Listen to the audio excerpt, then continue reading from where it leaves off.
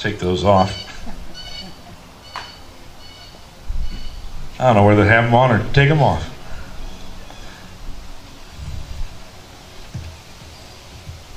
Today in our lessons, we see a very important question. Rise kind of up out of the words.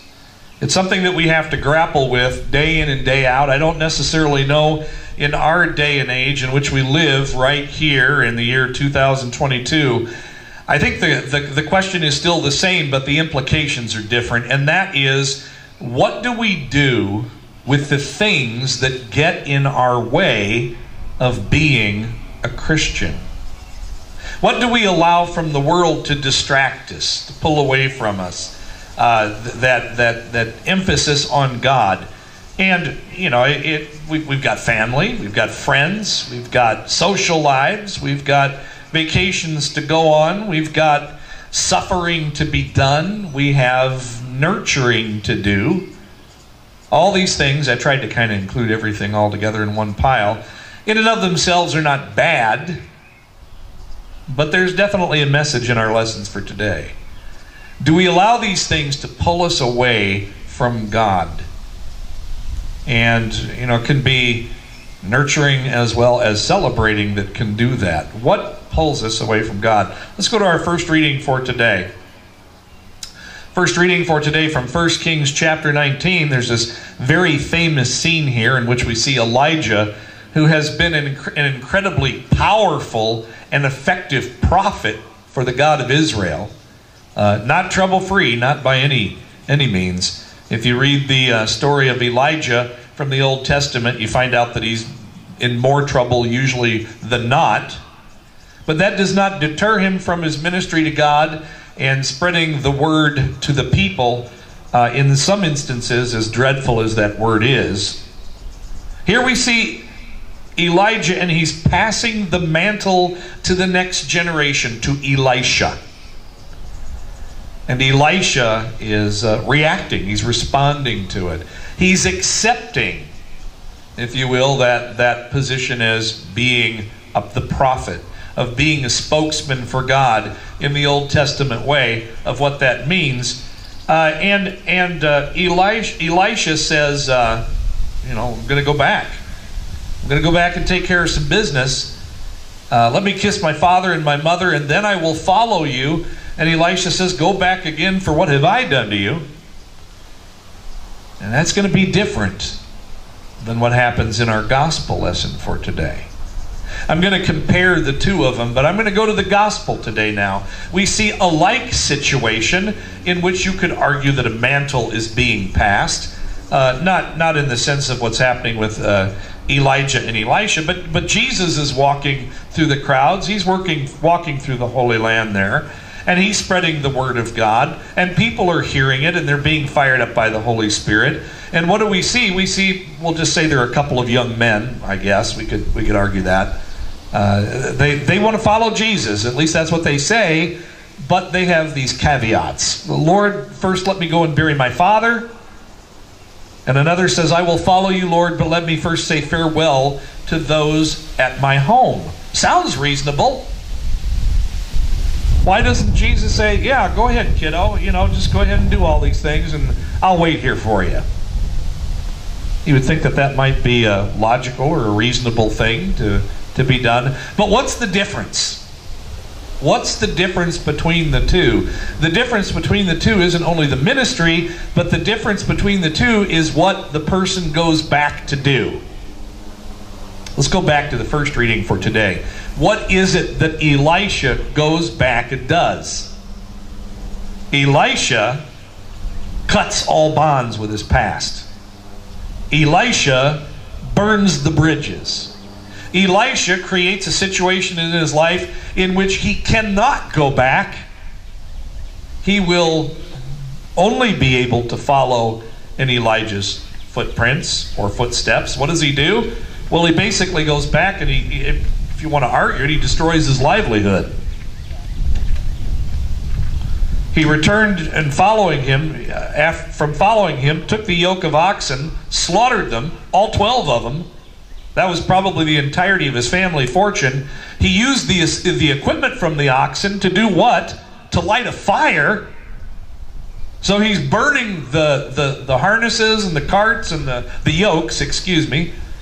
He's burning all of that. and then what does he do? Is he going to sell the meat and, and have a big pack of money? No. He, he gives all the meat to the people and they eat. Elisha gives up every single thing he has. We could argue why that is, but I'm going to argue it from the perspective of what we see in the gospel today. He cuts all ties with his former past, or with his past. I guess former past is redundant, huh? with his past, and he sets out and he follows Elijah. All right, let's go to our let's go to our sermon for today, or I mean our, our gospel for today. In contrast to what Elijah or Elisha has just done, what are these two young men more than likely going to go do? Well, let's let's take a look at it. Uh, Lord, first let me go and bury my father, and Lord, let me first say farewell to those at my home. What does Jesus know? Why is Jesus' answer so stark? What is it that Jesus knows about human nature? What is it that Jesus knows, more than likely, probably about these young men, although we're not told that? And that is the incredible snare that life can become. Have you ever settled your parents' estate or had a brother or sister do so? You know, let me go back and bury my father. First of all, for this man to be worrying about his father in the sense that he's the one to bury him, that more than likely means that he's probably the firstborn. That involves property, it involves position, it involves family, it involves legal issues, and on and on and on and on. And Jesus, Jesus is just knowing that if he lets this young man go, he'll never see him again. He'll never see him again. This what's this young man going to do? He's going to get caught up in the world, isn't he? All his attention, all of what he is about is going to be faced is going to be taken up with matters of property and family issues and and Jesus knows this. The other the other man, let me let me go back and say farewell to those at my home. That sounds reasonable. But what is this young man doing? He's giving it away too. My family's more important. My family's more important. I'm going to go back and say bye to mom and dad and my brothers and sisters. Sounds nice, but Jesus has just gotten done having an experience with his own family. Do you remember that experience with his family? Jesus is preaching to the crowds, he's preaching to the people, and some of them come to Jesus and say, Hey, Jesus, you know, outside, your mother and your brothers and your sisters are out there and they want you to go home. And what does Jesus do? Does Jesus say, Well, yeah, the jig's up. Okay, we're just going to pack it in and I'm going to go home? No, what does he do? He takes that moment to present something kind of hard for us to grapple with day in and day out. Who are my mothers and my brothers and my sisters? These are my mothers and my brothers and my sisters. What does Jesus do? He expands the ministry out to include the whole world. Ministry and family, these things to Jesus are meaningless in the sense of how we may think about them and are pressured to think about them day in and day out. That doesn't mean that Jesus doesn't love his mother. He actually tells one of his disciples, right, when he's hanging on the cross, to take specially good care of his mom after he's passed on and risen from the dead. So we're not looking at a cruelty on that level. It's about ministry, it's about turning back. That's what it's about. Being tempted to go back to the old ways. And what are the old ways? Well, let's see what those old ways are today. Let's go to our second reading for today. Paul writes to us from the letter of Galatians, the fifth chapter, and Paul doesn't mince any words in telling us what the old ways are. Why is it dangerous to go back? Why is it to allow ourselves to be turned away from the plow, so to speak? Right? Jesus, at the end of the gospel for today, no one who puts a hand to the plow and looks back is fit for the kingdom of God. And when we're talking about the kingdom of God, right, we're talking about the here and now as well as the future. Right? There's the kingdom of heaven. The kingdom of heaven is after we die, we go to heaven. The kingdom of God is not heaven. When Jesus talks about the kingdom of God, he's not talking about after we die. He's talking about now. Do we work now? Do we strive together now to create the kingdom of God?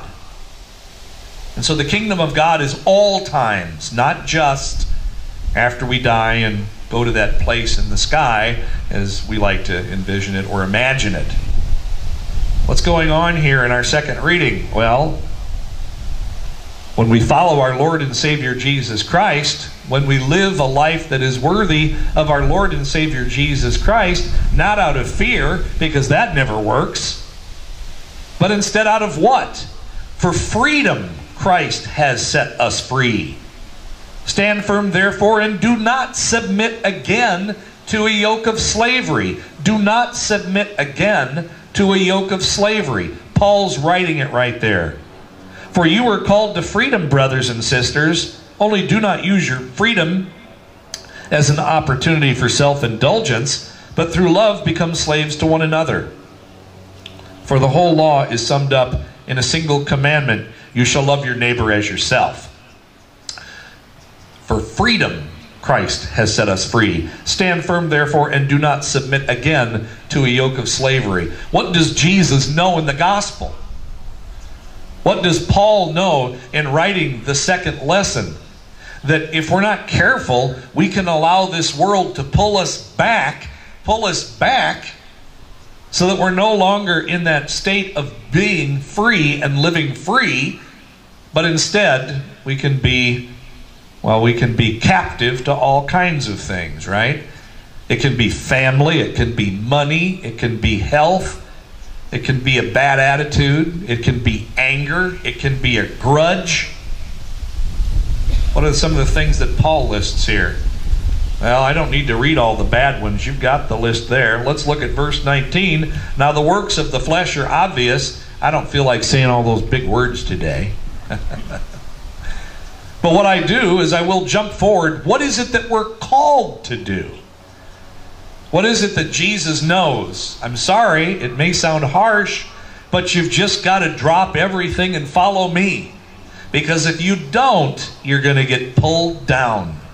So therefore, live this way. The fruit of the Spirit is love, joy, peace, patience, kindness, generosity, faithfulness, gentleness, self control. There is no law against such things. And those who belong to Christ have crucified the flesh with its passions and desires. If we live by the Spirit, let us also be guided by the Spirit. And so, all these things of where there is no law against them, this is the life we are called to live under God. And that is a life of freedom, and that is a life of power. It takes a while maybe to let that sink in. I think maybe we've kind of accustomed, you know, we've grown accustomed to looking at all these things, and we go, yeah, that kind of makes you sound kind of weak and wimpy and sad and pitiful, doesn't it? No. Are you kidding me? If you if you truly stand in opposition to the world in the sense of of showing these kind of traits to people, you will they'll they'll perk their head up and look at you in a far different way. We got enough grumpy people in the world, right? We've got enough hateful people in the world. They are legion. We can look about us and we can we can be pulled down in any direction. Any direction you want to you want to you want to choose or think about. What's rare? What's rare is the person that follows these ways of living. And the reason I say that's all that's a way of, of, of good living, but it's also a way of power, is because people are going to notice it. And they're going to wonder how you do it. And they're going to want to know what the secret is. And they're going to see in you something that they don't see anywhere else in all of the world. And that's why we can't go back. That's why we have to burn and slaughter the cattle, so to speak. Right? The, the, the things from our past that would seek to pull us back. That's why Jesus says, no, you know what? You, that feeling in your heart, go with it. You guys, the, the ones that are feeling the power of the Holy Spirit, don't allow that to be dampened by the world. And that's what Jesus knows, unfortunately, about these two young men. That they're going to go, do, they're going to go do this stuff, and then, uh, you know, they'll never return. Jesus will never see them again. Doesn't mean they're bad people in the sense of, you know, being evil people. What it means, though, is it means that they're not thinking or they don't quite understand yet what it means to be a follower of Christ, which is something that you and I are called to do every day. It's not easy, it's a challenge, it's difficult. It stands in opposition to our human nature, and it stands in opposition to the ways of the world. Congratulations, that's what it's all about. If it came natural, if it fit in with the ways of the world, then guess what? We wouldn't need to have to read a Bible, would we? It'd just be right there. Right there in our hearts and in our minds, and we wouldn't have to think or pray or ponder or hope or wonder. But instead, what is our ongoing relationship with Christ? Living as broken people, sometimes, broken people who have been broken by the past, who will be broken again in one way or another in the future, but who yet are so precious to God, precious to Jesus Christ, that he dares to go to a cross and die himself and then rise from the dead to show us forgiven sins and hope for the future. That's what living in the kingdom of God is about. Here and now, wherever it is you are. And when I say here and now, I'm not even talking about this gathering. Although this is a wonderful and extremely important way to manifest the kingdom of God in our lives. I'm talking about when you're out on the road, when you're at the workplace, when you're with your family, wherever you may be. Just imagine if you live according to those things that Paul writes about in our second lesson for today the effect you will have on people's lives. It's fun when people see something in you and you can tell they're curious, they want to know. What, what, what do you know that I don't know?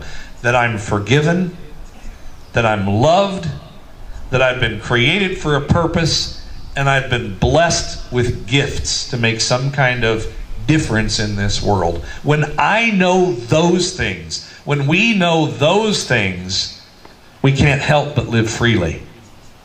We can't help but live in a spirit of freedom.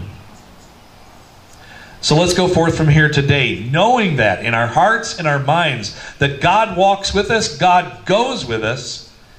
We can't turn back. Don't turn back to slavery. There's nothing there but death and pain and anguish. Instead, look to the future. Look to the future and that kingdom of God and the kingdom of heaven that awaits us. All these wonderful things through Jesus Christ our Lord. Amen.